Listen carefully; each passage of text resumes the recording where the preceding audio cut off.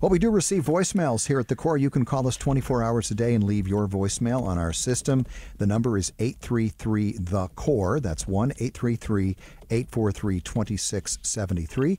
Here's a voicemail from one of our listeners named Jennifer. I listen to you almost daily at lunchtime, and I have a question.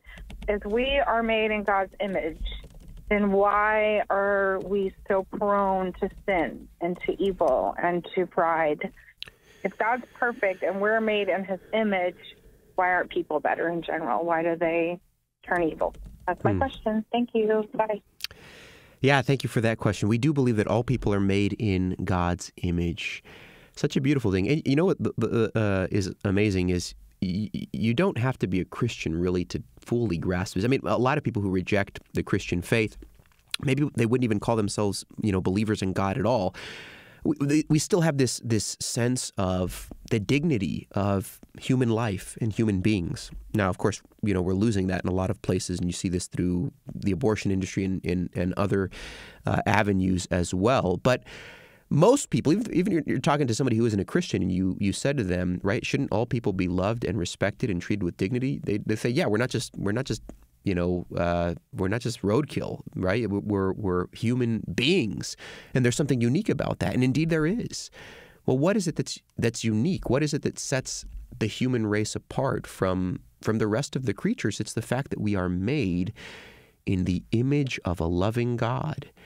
And having been made in the image of God, you see this in Genesis chapter 2, having been made in the image of God, we are called as human beings to reflect God, His goodness, His holiness, His grace, His love. We're called to, to, to love His creation, to, um, to take care of it, to rule, in one sense, as, as God Himself is the great King and ruler. Now, why is it that we, made in the image of God, are so sinful? Um, why, why is it that we hurt each other and sin against each other? Why is it um, that there is so little beauty in the way we interact with one another? Well, it's not because of something wrong in God's creation, in, in what He did.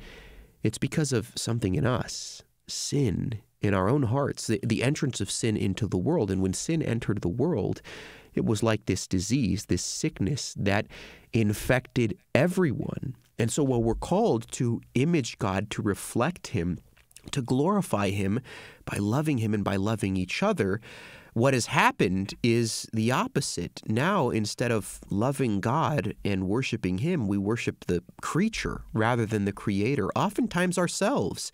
Now, instead of loving each other, um, we have become lovers of self. And that's why God sent his son, Jesus, into the world, the true image of God, that he might restore that image of God in us in knowledge, righteousness, and holiness. Not that we, we lost it, everyone's made in the image of God, but only through Jesus can we live as God calls us and know God as he wants us to. And so may God bless you to that end.